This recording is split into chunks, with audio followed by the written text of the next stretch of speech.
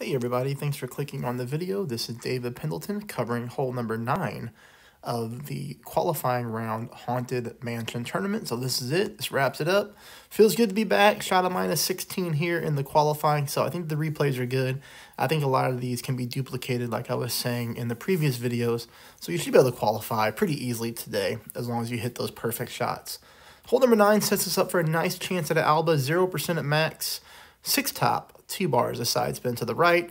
Again, extra mile level 9 players, no need to go more top spin. And again, yes, there are several holes here which we could go bombs away, but we don't need to do that um, in the qualifying round.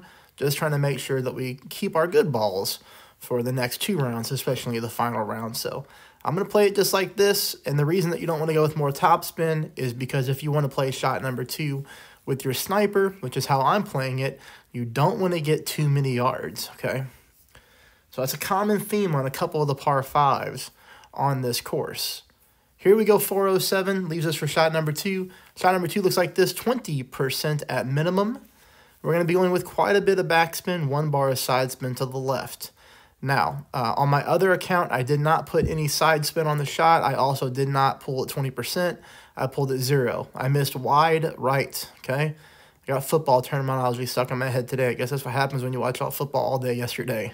Anyways, I missed to the right-hand side um, on my other account. Now, unfortunately, here I hit a great ball to the left.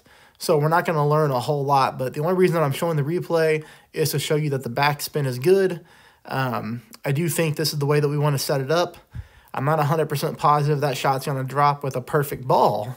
Obviously, it'll be closer, but I do think we need that one bar of side spin to the left, and I do think we need a 20% pull. So at minimum distance, just check your own distance of your club. All right, everybody, that's it. Please check out the Patreon notes uh, if you like that. That's in the description below. Please subscribe. Please hit the thumbs up. I'll see you all on Thursday.